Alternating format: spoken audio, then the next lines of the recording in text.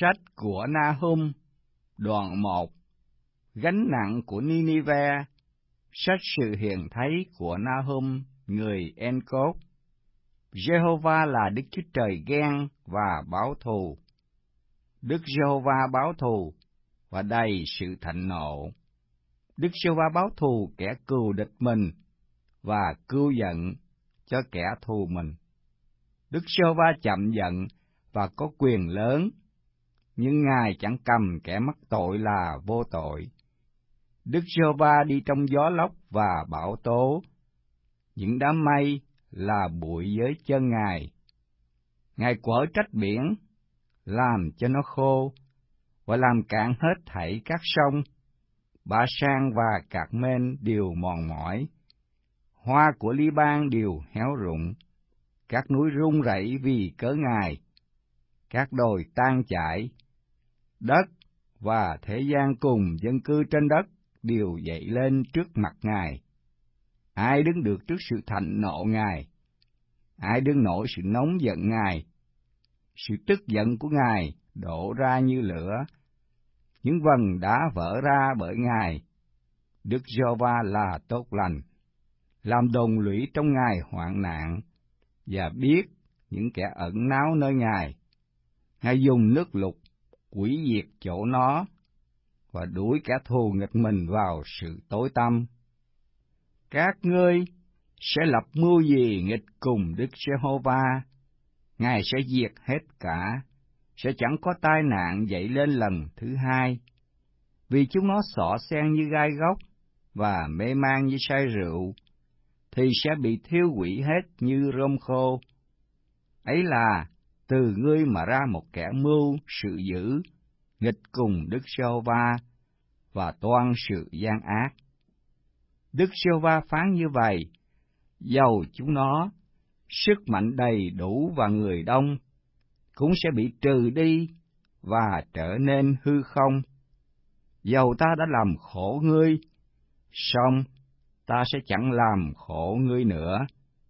Nhưng bây giờ ta sẽ bẻ gãy ách nó khỏi ngươi, và bức đứt dây ngươi.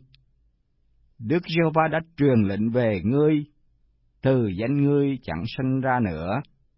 Ta sẽ trừ bỏ tượng chạm và tượng đúc khỏi nhà các thần ngươi. Ta sẽ làm mồ mã cho ngươi, vì ngươi là hèn mạc. Này, trên các núi có chân của kẻ đem tin lành và rao sự bình an hỡi Juda, ngươi khá giữ kỳ lễ mình và trả sự hứa nguyện mình, vì kẻ gian ác về sau chẳng đi qua giữa ngươi nữa, nó sẽ bị diệt sạch. Sách của Na-hôm, đoàn 2 Kẻ tàn phá đã đến nghịch cùng ngươi, hãy giữ đồn lũy, canh phòng đường xá, thắt chặt lưng ngươi, và thâu góp cả sức mạnh ngươi, vì Đức Sô-va khôi phục sự vinh hiển của Gia-cốp như sự vinh hiển của Israel, bởi những kẻ bóc lột đã bóc lột chúng nó và đã phá hại những nhành nho chúng nó. Thuẫn của những người mạnh là đỏ, những lính chiến nó mặc áo màu đều, trong ngày nó dàn trận, gan thép của xe cộ sẽ lòe ra như lửa, và gươm giáo đều lai động. Những xe đi hỗn độn trong đường phố và chạy đi chạy lại trong các đường rộng, thấy nó như những ngọn đuốc và chạy như chớp. Nó nhớ lại những người mạnh dạn của mình, nhưng chúng nó bước đi vấp váp, chúng vội vã đến nơi vách thành nó, sắm sẵn để chống cự các cửa sông mở ra, đền đài tan mất. Đã nhất định, hoàng hậu bị bốc lột và bị bắt đi. Các nàng hầu hạ người đi theo, rên xiết như bò câu và đấm ngực mình. Vả, Ninive, từ lâu nay nó đã như ao chứa nước, nhưng bây giờ chúng nó chạy trốn. Có kẻ kêu rằng, hãy đứng, hãy đứng. Xong, không ai quay lại. Hãy cướp bạc, cướp vàng, vì của báo nó vô ngần, mọi đồ đạc quý nhiều vô số. Nó đã bị tàn phá trống không và hủy hoại hết. Lòng chúng nó tan chảy, đầu gối chúng nó chạm nhau, mọi lưng đều đau, hết thảy mặt đều xám ngắt.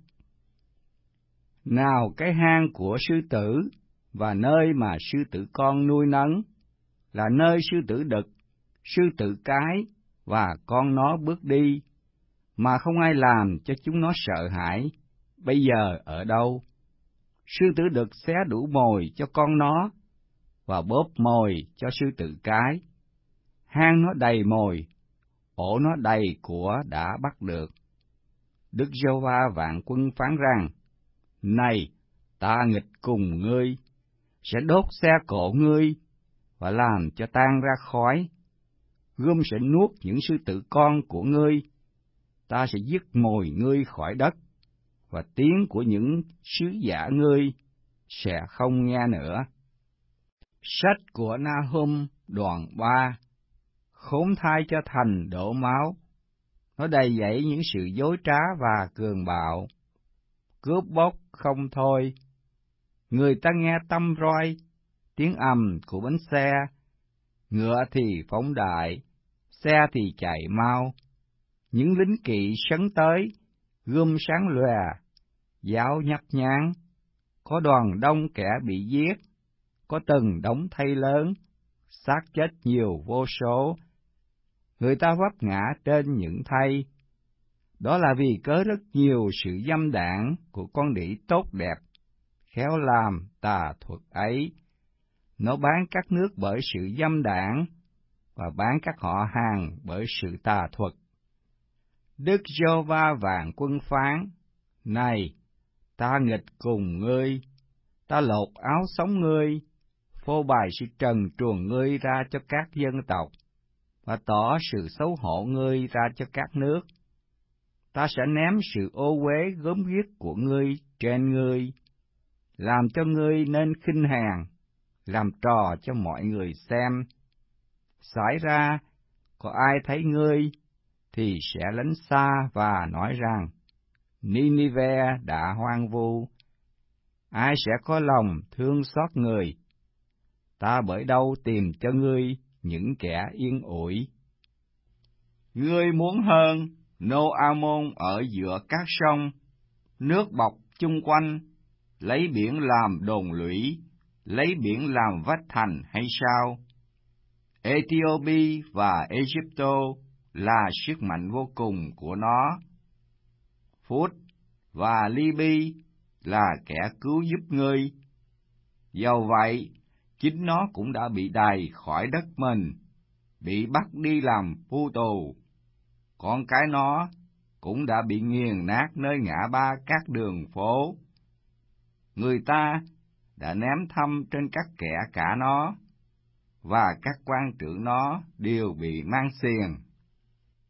Ngươi cũng vậy, ngươi sẽ mê man vì sai, sẽ được ẩn náu và tìm nơi vững bền vì cớ kẻ thù.